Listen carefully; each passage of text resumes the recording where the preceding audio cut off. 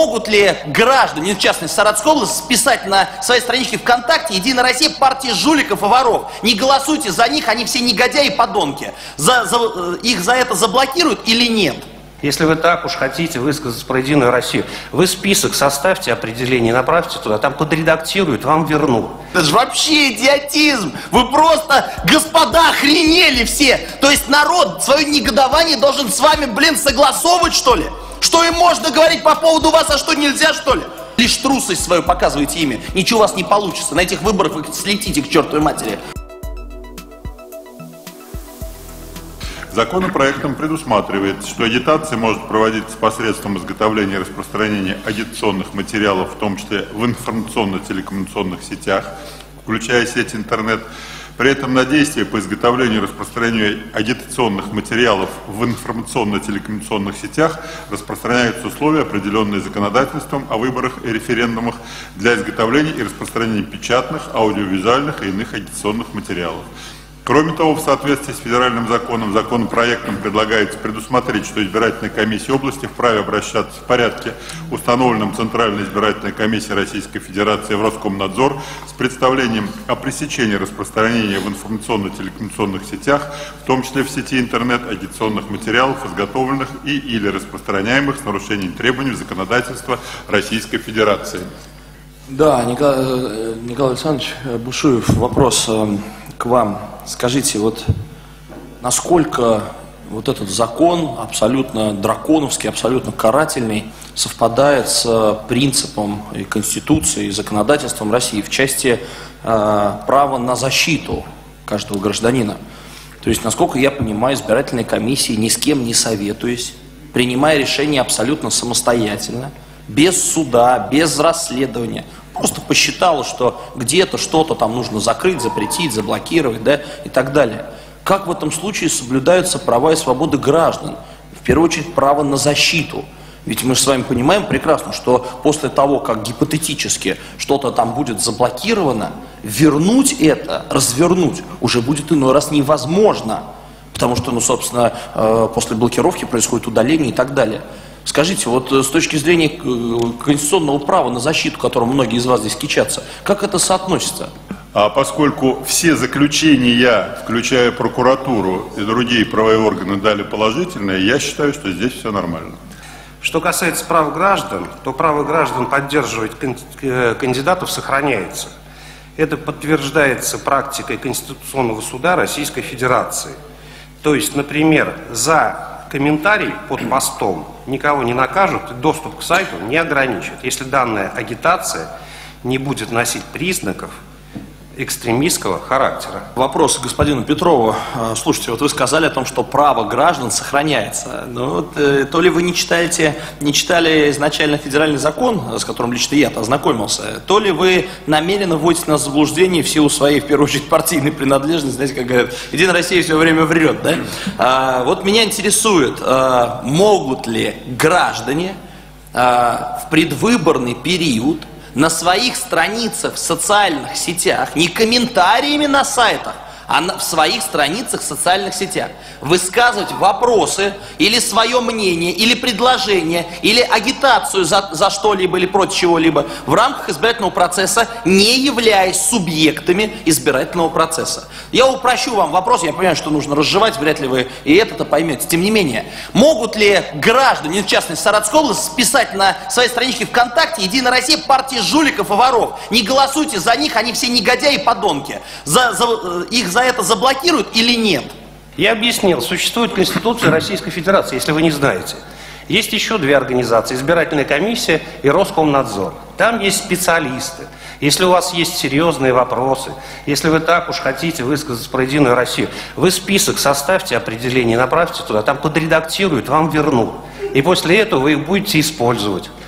Слушайте, но вот э, господин Петров, какая содокладчик, как его э, руководство Думы назвало. Ну, слушайте, честно сказали, вот, блин, не ожидал, да, открыто сказали, прямо сказали э, на вопрос, да, э, а что делать вот гражданам, которые, ну, негодуют по поводу той антинародной политики, ненавидят власть, хотят тут везде говорить, э, призывать граждан, чтобы ни в коем случае этот антинародный, антинародный режим не продолжил свое существование, да, высших эшелонах вообще во власти в целом. И что он нам сейчас сказал? А вы, говорит, должны, говорит, согласовывать с властью все. Вы, говорит, туда напишите, вам там, говорит, подредактируют. Это же вообще идиотизм. Вы просто, господа, охренели все. То есть народ свое негодование должен с вами, блин, согласовывать, что ли? Что им можно говорить по поводу вас, а что нельзя, что ли?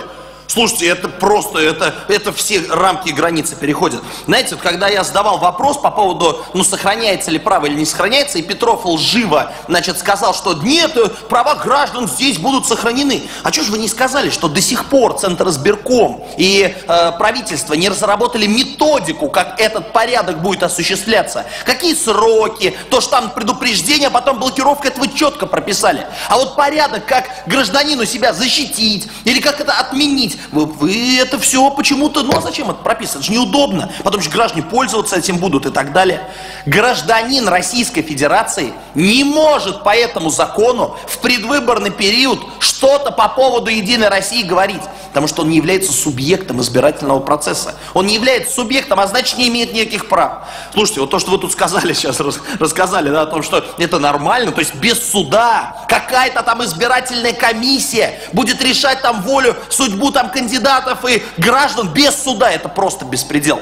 То, что вы получили на это положительное заключение, в этом вообще никто не сомневается. Очевидно, да, что вы в этом невероятно все, блин, вся ваша шатья братья заинтересованы, потому что впервые вы столкнулись с таким кризисом. За 20 с лишним лет ничего подобного не было. Вы потеряли монополии на информацию. И теперь ваш зомбоящик, который люди перестали смотреть, больше не, не является механизмом манипуляции общественным сознанием. А интернет, где вас бьют, просто плюют вам ваши, ваши лица, да, рожи хотел сказать, но я думаю, не совсем политкорректно. В результате э, вам не подконтролен, и вы пытаетесь закручивать там гайки. Я вот чему радуюсь, что практика показала, что все эти огромные, невероятно богатые и влиятельные транснациональные информационные корпорации шлют вас нафиг. Шлют просто на три буквы вас, хотел бы жестче сказать. Не обращают внимания, а вы ничего с ними сделать не можете. И, задушить полностью, граждане возмутятся, поднимутся, да, потому что, ну что же еще, э, э, так важно сегодня для людей, настолько плотно это вошло в наш обиход. Поэтому и хочется, и холится, и вы в результате эти законы мерзкие принимаете, лишь трусость свою показываете ими. Ничего вас не получится. На этих выборах вы слетите к чертовой матери. Народ... Депутат Литневский Юлия Михайловна, пожалуйста.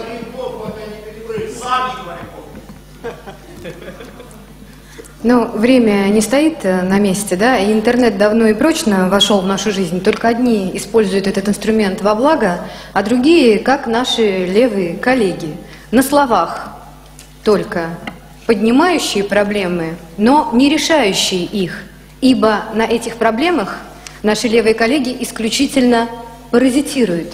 Им выгодно, чтобы проблем было больше, значит и хайпа в интернете тоже больше. Им не нужно, чтобы действовали единые для всех нормы. Напомню, мы сегодня всего лишь распространяем уже действующие нормы законодательства на глобальную сеть, не придумывая ничего нового. Но порядок и единые для всех правила хайпажорам, не стесняющимся даже снимать из-под тишка даже личные разговоры, выкладывать это в сеть, распространяющими очень сомнительный контент в своих зомбоящиках, который не направлен на созидание, а напротив, на разрушение, на разобщение, нападение вообще ниже плинтуса общего морального и нравственного облика.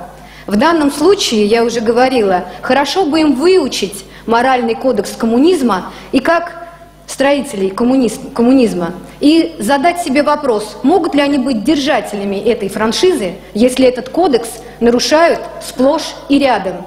Им не выгоден порядок и закон. Им выгоден хаос – мы же за здоровую конкуренцию в рамках многопартийной системы, которая сейчас только восстанавливается после того, как была разрушена коммунистами. Придя к власти, они в буквальном, трагическом смысле уничтожили все другие партии, уничтожили миллионы наших сограждан, а сейчас имеют наглость рассуждать о демократии. И, кстати, на прошедших выборах Николай Николаевич Бондаренко нарушал закон открыто, агитируя в день тишины. Никаких санкций не последовало. Ошалевшие от безнаказанности, ошалевшие от вседозволенности, сейчас и здесь заставляют всех плясать под свою дудку. Не позволим. И закон будет принят. И порядка мы добьемся. Депутат Гладков Сергей Михайлович. Спасибо. А, Я постараюсь коротко. Вот я слушаю тут речи про хвалеб... и хвалебные оды в адрес трансконтинентальных корпораций и думаю, вот и все, наверное, это показывает сущность сегодняшних коммунистов, когда они топят за оплот империализма, по-другому не скажешь. Вот. На самом деле э, мотивация э, негативных высказываний э, левых коллег или там представителей коррумпированной партии Российской Федерации, она, все, она понятна. Потому что сегодня придется контент выбрасывать в соответствии с действующим законодательством, а не хайповать, э, не прилизывать ролики э, такими, как бы им хотелось сделать. Мы понимаем, что если не будет площадки, ну, в кого они превратятся? В бродячих артистов, их даже, вот, несмотря на то, что цирк-то откроется где-то в июле, их туда даже не возьмут, а прохожие плевать будут в эти вещи. Поэтому э, вот топят они, непонятно за то, за то за безнаказанность, за то, что был чем хуже, тем лучше, потому что у них принцип такой. Вот. А сущность свою, коммерциализированную, которую... Почему они сейчас хвалят опять все эти платформы иностранные? Да потому что они оттуда деньги получают, просто-напросто. Почему они э, выступают против законопроекта? Потому что придется работать в рамках правового поля. Они привыкли. Не привыкли так. Поэтому э, не пройдет вот этот трюк с тем, чтобы э, говорить про ограничение прав и свобод. Вот права и свободы людей ограничивают своим криком, ором, хамством, безнаказанностью. Поэтому э, сейчас, безусловно, законопроект необходимо поддержать, а наших бродячих артистов, выступающих в жанре буфанады, вот, не слушать. По поводу этого закона хочу сказать, мы движемся прям поступательно, но очень широкими шагами к фашизму.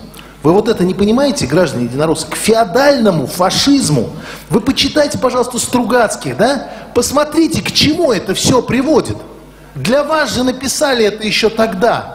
Посмотрите, вот когда вы пытаетесь уже залезть в соцсети, эта сеть, напоминаю, это сеть, в которой люди общаются – не в которой ведется агитация, где люди не хотят, чтобы туда посторонние, они пускают туда только тех, кого считают своими друзьями, кому дают возможность на себя подписаться, кто сам хочет подписаться на того или другого. Не лезьте туда со своим государством. Это люди между собой общаются. Вы понимаете, вы куда залазите? Вы скоро под одеяло будете залазить. Смотреть там, не, не набирает ли он на телефончике вдруг Путин вор там, или я не знаю, Единая Россия партия жуликов воров. Так, это не так, это другие вопросы. Но вы не лезьте к людям-то. Вы потом этих людей лучше убедите в обратном де действиями своими. Юрий Михайлович, а вам я хочу сказать о том, что вы хотели бы, чтобы вы гадили, а мы потом убирали за этим. Да, как вы красиво сказали, вы своими делами должны помогать. Это то, что вы натворите, мы потом должны убирать, да? Нетушки. Поэтому я еще раз говорю, данный законопроект совершенно не проработан. Нету понимания даже, как, как люди... Просто создается законопроект, по которому можно будет хватать всех подряд. Или по которому в интернете нельзя будет обсуждать политику вообще. Ну к чему это приводит? Да, вы говорите, соблюдать закон. Было такое государство, в котором по закону разрешалось сжечь людей по национальному признаку, по политическому. Это было в рамках закона, который фашисты приняли. Вот вы хотите сейчас уподобляться им, принимать законы, а потом на них ссылаться и говорить, вы действуете по этим законам. Да, там были, это все они действовали по законам.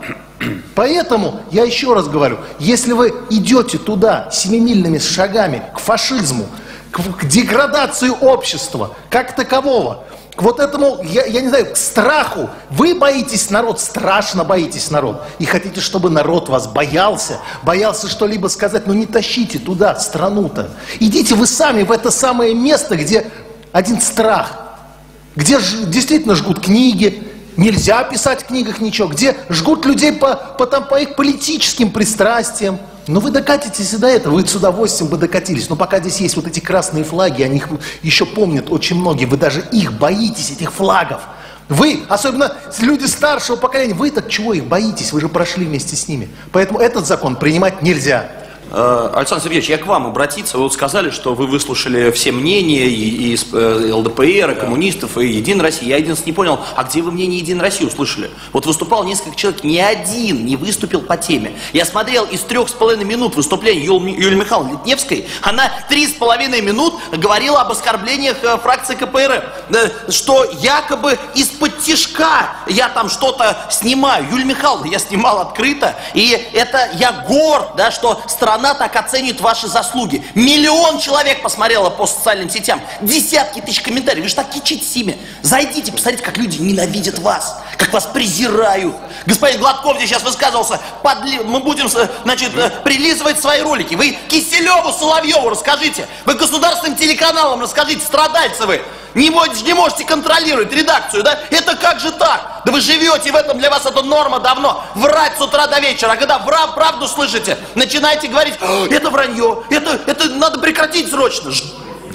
Вот вы в, в адрес президента позволяете себе высказывания довольно критические и э, все время ставите под сомнение его роль. Э, я вам хочу напомнить, что при Владимире Путине мы получили плоскую шкалу налогообложения, это НДФЛ 13% действует с 2001 года, что привело к увеличению поступления налога в бюджет. В настоящее время учтены как интересы налогоплательщиков, так и бюджетные системы. Гарантии частной собственности на землю и иное имущество – конституционный принцип, который нарушается, в принципе, только на территории Саратовской области. А вы на это не обращаете внимания внедрение ипотеки, что позволило э, новоселам получить стать новоселами много семей и многих людей улучшить свои жилищные условия. Внедрение одного окна, ликвидация внешнего долга, упрощенный режим налогообложения для малого и среднего предпринимательства, укрепление роли РФ в международном пространстве и сохранение целостности государства. Уже этого достаточно, чтобы, по крайней мере, э, э, ограничить свои высказывания в адрес руководства государства. И переход на федеральную и международную повестку считаю, что на наших заседаниях никак, кроме популизма, назвать нельзя. Поэтому прошу вас прекратить этот избитый прием и возвращаться в прошлое и к международным странам. Это касается как представителей коммунистической партии, так и Единой России. Спасибо. Ну, парадоксально. Депутаты от Единой России несли всякую ахинею, прошу прощения за непарламентский термин. И когда говорить по существу, уже нам э, ущемляют время, обрезают. Тем не менее, коллеги, данный закон, он ущемляет права граждан и препятствует развитию демократического общества в России, о чем говорит как раз президент Путин. И если посмотреть, то в последние годы по, прокатилась волна э, посадок и уголовных э, посягательств на свободу граждан за репосты, за лайки. И данный законопроект, он только усугубит э, ситуацию и будет способствовать социальной напряженности больше. Посмотрите, у нас и так э, сколько политзаключенных э, по надуманным предлогам. За что? За просто так. И сейчас вы принимаете данный законопроект, по которому вы будете карать простых граждан за использование ими каких-то материалов в собственных соцсетях. Данный закон принимать нельзя. Закон принимается в первом и во втором чтениях. Следите за нашими новостями, чтобы не пропустить все самое главное и интересное во внутренней политике нашей страны.